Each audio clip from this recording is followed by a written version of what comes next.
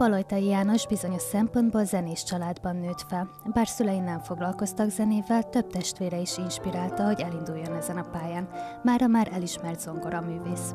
Annak a programnak egy részét fogom eljátszani, amivel most Európában egyébként is turnézok, mert Sif András zongoraművész minden évben kiválaszt három fiatal zongoristát a világban, akiket felkér erre a sorozatra, az a neve, hogy Building Bridges, tehát hidakat építünk valahogy a fiatal generációs közönség között, hogy ne az egyetlen út a versenyzés legyen. A Zongora Fesztivál ötlete a Szerbiai Zongoratanárok Szövetsége által tartott nyári mesterkurzusban ered, ahol fiatal zongoristáknak tartottak képzést a Szabadkai Zeneiskolában.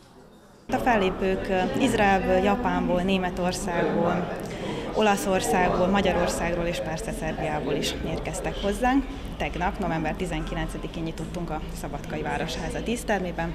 Yuval Admoni, Izrael és Tami Kanazawa, japán zongoraművészek koncertjét hallhatták tegnap. A fesztivál hatnapos, amely során 10 koncert várja a zenekedvelőket a Városháza dísztermében, illetve a Szabadkai Kortás Galériában.